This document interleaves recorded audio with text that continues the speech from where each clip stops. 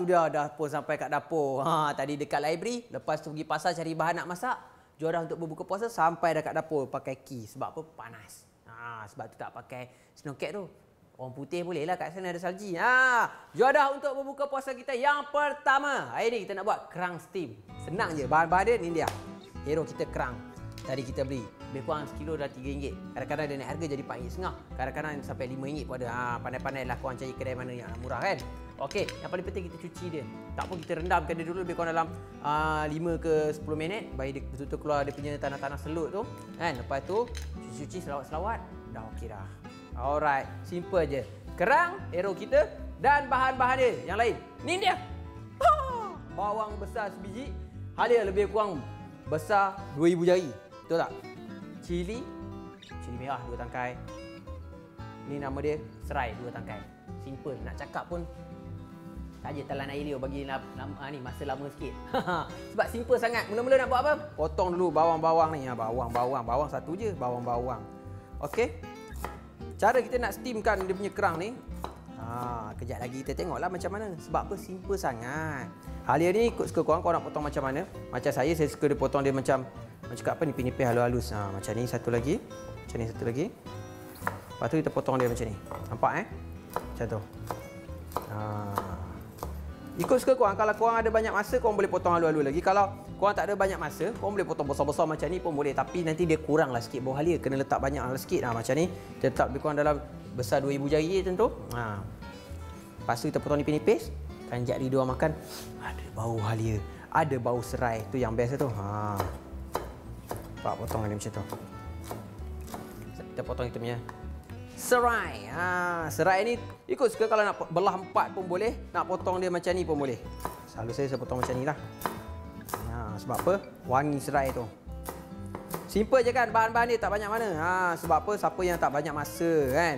Balik kerja tapi nak masak, duit tak eh, duit tak ada. Duit tak ada, masa tak ada. Ha, ni dia makanan dia. Potongkan kita punya cili merah. Ikut suka kalau nak tambah cili padi pun boleh terpulang kat korang. Ha, cili padi ada, boleh tambah. Ha, kadang-kadang ada suka pedas, ada tak suka pedas. Terpulang kat korang lah. Ha, macam saya, saya pakai dua tangkai cili padi, eh cili merah. Senang je, tak susah mana pun. Hmm, potong macam tu je. Ha, nampak? Nampak senonoh sikit kan? Ha, selalu ha, potong-potong macam tu je. Hari ni potong senonoh sikit. Sebab apa bulan puasa? Ha, tu dia. Dah pun siap potong-potong ni nak buat macam mana? Jom kita masak. Haha, nak masak juadah untuk berbuka puasa kita yang pertama. Kerang steam. Senang je. Pakai kuali macam ni. Tak susah mana, tak susah mana pun. Nah, nak cakap pun sampai ter apa ni? Terbelit-belit lidah sebab senang sangat. Mula-mula nak buat apa? Senang je. Kita ambil bahan-bahan macam ni. Bawang. Kan? Bawang ni masukkan terus. Nampak? Tak tak payah pakai minyak apa. Bawang, halia, serai, Ha, ni orang panggil macam toast lah lebih kurang. Dia tak ada apa? Tak ada air. Ha, nampak dia kering. Sebab apa saya tak letak air? Sebab kita nak steamkan dia. Macam mana nak steamkan dia? Tengok betul-betul Mujang. Senang sangat-sangat. Ya Allah, bukan nak cakap lah benda ni. Kalau korang tak tahu masak, rugi ya jadi menantu orang. kerang. Masukkan kerang terus. Kerang ni sebenarnya dah ada air dah sebenarnya. Kan? Masukkan terus je. Ha, ambil kau.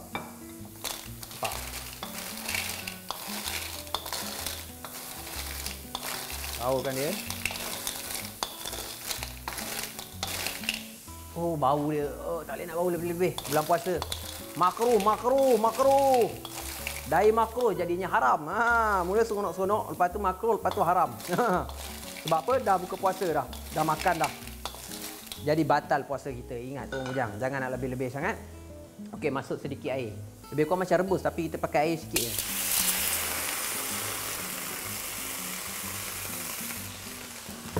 Ha, tak banyak mana pun air, sikit je. Kan?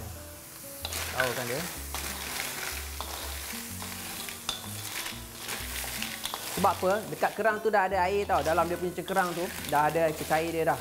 So kita tak payah nak lama-lama sangat masak, agak-agak je kacau-kacau dia macam tu.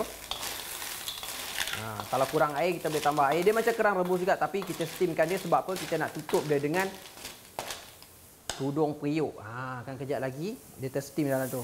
Nampak? Simbah air sikit dalam atas dia. Jangan banyak sangat. Masukkan cili merah. Ah, tu dia. Nampak? Air tangan dah rasa air tangan dah. Gula sikit. Hmm, nampak? Garam sikit saja. Jangan masuk banyak sangat sebab apa? Kerang tu dah masin dah. Sebab apa? Dia duduk dalam laut. Ha. Kan kejap lagi banyak sangat habis. Okey. Black pepper sikit yang ditumbuk sendiri. Ha, sebab apa? Nak rasakan pedas-pedas dia tu. Ada pedas cili, ada pedas black pepper, lagi sedap. Ha, boy. Nampak tu. Ha, gaulkan dia sikit. Nampak. Tak nampak steamkan lagi kan? Ha, kejap lagi dia tersteam lah. Dengan apa? Dengan tudung periuk. Kejap je ni. Lebih kurang dalam... Jangan masak lama sangat. Kan kerang masak lama sangat, dia tak sedap juga. Dia lebih kurang dalam 10 ke 20 minit ke. Ha, 10 ke 15 minit ke. Sayur-sayur dah layu dah. Kerang-kerang dah terbuka dah, tenganga dah tu. Dah boleh angkat dah. Macam mana? Tutupkan dia. Settle kejap. Kejap je. Ha, kita biar dia masak. Kejap lagi. Boleh hidangkan dah. Untuk berbuka puasa. Ha ha.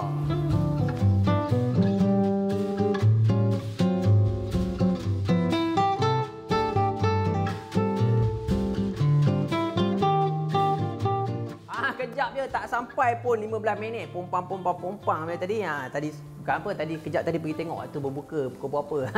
Riki Riki lain. Main kita tengok apa jadi dengan kang kita. Tenganga ke tak tenganga? Ha tu dia. Dah steam baik punya dah. Nampak tu? Dah tenganga dah macam tu dah masak dah tu. Ha nampak tu? Tu terbaik terbaik terbaik terbaik. Oh panas tutup api. Jom kita cedok. Amboi Air dia tak payah nak ambil pun. Ha, kita makan kerang saja. Nampak? Sebab apa bukan air dia tadi? Kan kita cakap kerang ni kena rendam dia dengan air sebelum kita masak dia. Bagi dia punya selut-selut tu keluar. Ha, ni kita masak nampak tu. Air dia dah jadi keruh. Kita nak makan kerang. Selalu kerang rebus orang tak letak air kan?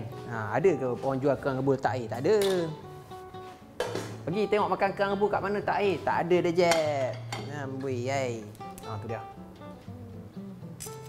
tak dia elok dah tu. Kenapa kan sekejap lagi? Lambung-lambung terkeluar dia. Uh, dia punya bau. Orang kat dapur ni je tahu. Orang kat rumah nak tahu macam mana kena masak ah. Ha, nampak tu. Tu dia. Kerang steam.